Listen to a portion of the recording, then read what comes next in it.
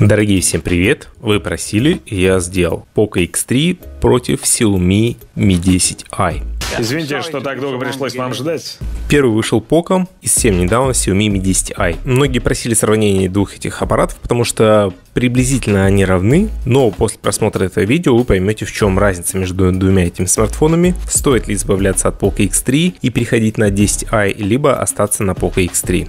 Компания Xiaomi наступает сама себе на пятки, выпуская смартфоны похожие один на другой. Напомню, что Poco — это дочерка компании Xiaomi. В целом, два этих смартфона очень даже хороши, и любой из них не стыдно никому предложить для покупки. И помните, друзья, на этом канале уникальный контент, на YouTube такого больше нет, поэтому подписывайся, ставь лайк и репостни это видео. А мы начинаем. Начну из комплектации. В первом случае Poco X3 телефон, зарядка, кабель, мануал, скрепка и чехол. Во втором случае все то же самое. Телефон, зарядка, кабель, мануал, скрепка и чехол. Все, друзья, стандартно, аналогично. Лады. Далее разница гораздо интереснее. Это батарея. В первом случае 5160 мАч, то есть Poco X3 перепрыгнул планочку в 5000 мАч, хотя совсем не намного. А во втором случае это 4820 мАч, плюс-минус неплохо, но до 5000 он, конечно, не дотянулся. В целом разница по мАч между двумя этими смартфонами составила 340 мАч. Много это или мало, решать, конечно же, вам. Если бы об этой разнице заявили лет 10-12 э, назад, наверное, это была бы большая разница разница. Сейчас на самом деле это не оказывает сильного влияния. А вот когда я был маленький, мой батя не звонил копам и говорил, что наш дом грабанули. Вот было дело. По зарядке, друзья, все отлично. В том и другом случае мощная зарядка на 33 ватта. Для бюджетников этих уровней зарядочка, друзья, прям вообще в порядке, потому что зарешает быстро, тем более батарея, как вы понимаете, здесь большая. Далее экран. В первом случае IPS 667 дюймов, Full HD плюс разрешение и 120 Гц. Во втором случае это 667 дюймов, IPS Full HD плюс разрешение 120 Гц. Вообще золотой стандарт 2021 года выполнен в одном и в другом случае. Это 120 Гц, IPS матрица и тоже здесь особо никакой разницы нет. Защищены они по типу Corning Gorilla Glass пятого поколения. Экраны у смартфонов отличные. Шим здесь отсутствует, потому что здесь IPS матрица и она, как правило, без шима. А в смартфоне есть обычный обычная яркость и автояркость. Причем, если вы используете ручной режим, то в максимальной яркости у вас всего лишь 455 нит. А если вы устанавливаете авторежим, то в автоматическом режиме на максимальной яркости она составляет 620 нит, то есть гораздо больше. И в принципе на свету, на солнце можно смотреть на экран, и это не раздражает, не надо будет выглядываться в экран. В этом плане над смартфонами и над IPS-матрицами, конечно, поработали. Это круто. Спасибо! Ну и, конечно, 120 Гц, отличный формат. Тоже отмечу, что 120 Гц не везде работает. Как правило, этот режим используется в играх и если вы, допустим, листаете рабочий стол. В этих двух вариациях есть 120 Гц, а если вы смотрите YouTube, смотрите кино и так далее, то, как правило, 120 Гц отсутствует, даже если они у вас принудительно выставлены. Стоит ли этого пугаться? Этого пугаться не стоит, потому что, как правильно, фильмы, контент или даже те же самые фотографии, когда мы смотрим, нам не нужна такая повышенная герцовка. Но для игр эти смартфоны, конечно же, очень даже приспособлены, потому что 120 Гц будет реально выручать. И сверху здесь еще накинули 240 Гц частота отклика экрана.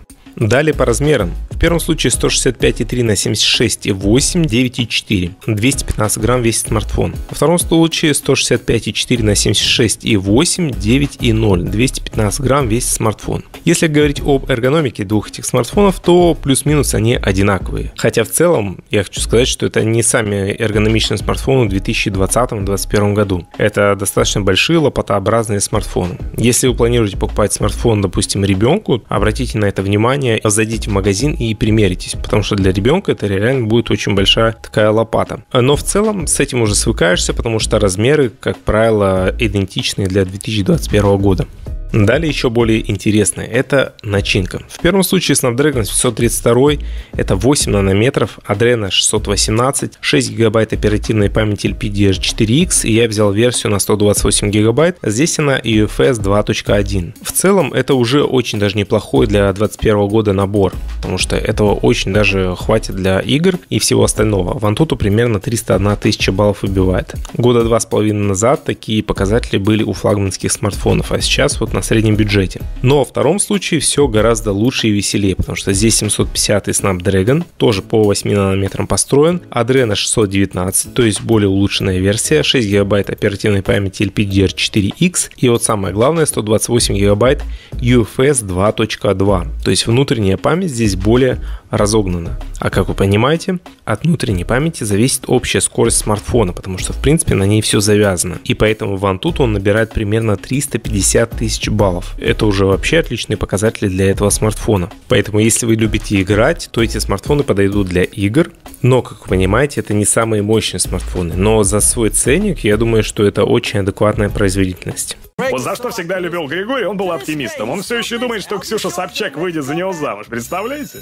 По поводу карт microSD. В первом и втором случае обычный комбо-лоток не тройной, к сожалению. И вот добираемся до самого интересного. Это камеры. В первом случае камера от компании Sony IMX 682 на 64 мегапикселя, апертура f1.89, 13 мегапикселей ширик и два модуля по 2 мегапикселя. Во втором случае на 108 мегапикселей модуль от компании Samsung HM2 из Cell f1.75. То есть сразу обратим внимание, что светосила во втором случае гораздо больше, как и в принципе мегапиксели. 8 мегапикселей ширик и два модуля по 2 мегапикселя. Фирменные фильтры, которые присущи Poco и, конечно же, не присущи компании Xiaomi. А, можно снимать, делать интересные интеграции, снимки и так далее. При желании можно накатить сюда Google камеру и вообще, в принципе, радоваться съемке в ночное время, потому что там камера вытаскивает очень даже сильно. Селфи-камера в первом случае на 20 мегапикселей, во втором случае на 16 мегапикселей. В целом камера на 108 мегапикселей плюс апертура f1.75. А что значит эта апертура? Значит светосила. Светосила здесь гораздо больше, соответственно, снимки будут получаться немного лучше. Но я думаю, кардинальная разница, если вы не профессионал, то вы, конечно же, не заметите. Далее сканер отпечатков пальцев. А, здесь они абсолютно одинаковые, идентичные и расположены они на боковой грани. Срабатывают очень хорошо, быстро и шустро. К ним никаких претензий. Модули связи. Здесь есть совсем небольшая разница, но она сильно на нас не влияет. NFC, 4G, Bluetooth пятого поколения, GPS, USB Type-C. Это я говорю сейчас о Poco X3. Если говорить о Mi 10i, то NFC, 5G, поддержка сетей пятого поколения, Bluetooth пятого поколения, GPS, USB Type-C. И тот, и смартфон присутствует на глобальном рынке, и в принципе а, здесь тоже особо большой разницы нет, потому что у нас 5G еще не работает, поэтому эта разница нивелируется.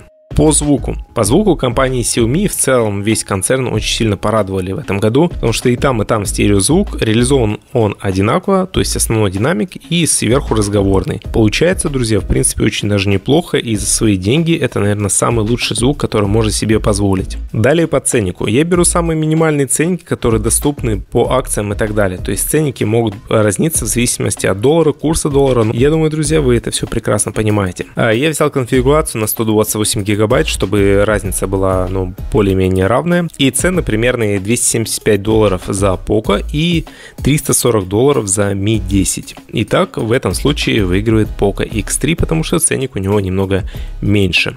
И все, что мне теперь нужно было, это бабло. Какой вывод можно сделать по двум этим смартфонам? И тот, и другой смартфон достойны, по моему мнению. И Poco X3 в данном случае гораздо выгоднее. Можно взять минимальную версию на 64 гигабайта, и она обойдется примерно в 210 долларов, если вы найдете его по скидкам купонам. А также, кстати, проходить на телеграм-канал, там есть скидки купоны на различные товары на AliExpress и на смартфоны. То этот ценник нивелирует эту разницу очень даже сильно, поэтому Poco X3 действительно один из самых лучших смартфонов на сегодня. В Mi 10i гораздо мощнее процессор процессор, видеоускоритель и внутренняя память. Также камера здесь немного бодрее, все остальное плюс-минус одинаково. Но ценник 340 долларов, это мы говорим сейчас тоже о глобальном рынке. Поэтому и тот, и тот другой смартфон а, достойны. Давайте будем ждать появления Redmi Note 10, может быть там что-то поменяется. Друзья, с вами был я, Крабер, всем хорошего настроения, респект, уважуха, всем пока-пока.